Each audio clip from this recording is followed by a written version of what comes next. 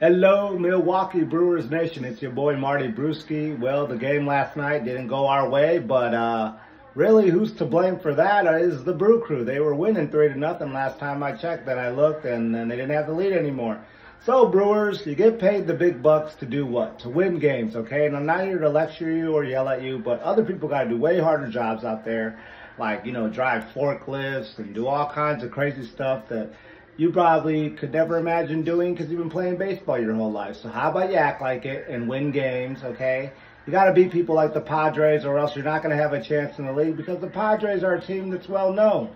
What are we? We're the Milwaukee Brewers, a small market team. You got to go out there and demonstrate why the small market little thing doesn't matter, that we can go out there and compete and win games. So you got to go out there and do what you're supposed to do, and that's win games, no excuses, guess what? What I think is if you don't win games, maybe you don't get an after meal, an after game meal, or maybe you don't get a free ride home from uh, the whatever car drops you off from the stadium. I don't know what you guys get. I'm gonna start taking away some free stuff, okay?